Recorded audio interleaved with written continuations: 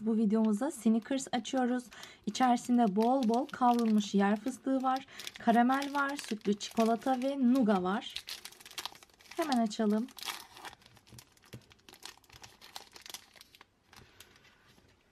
Evet, klasik Snickers. Tam ortasından bölmeye çalışacağım. Evet, bol bol kavrulmuş yer fıstığı var demiştik. Gerçekten de çok güzel gözüküyor. Şimdi hemen tadına bakıyoruz.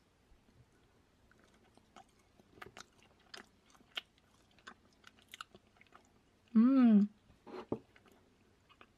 Yoğun kavrulmuş. Bol karamelli.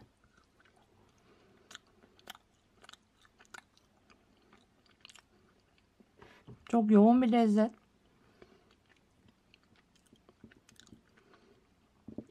Tatlı krizlerinde tatlı ihtiyacını gidereceğini düşünüyorum. Şöyle.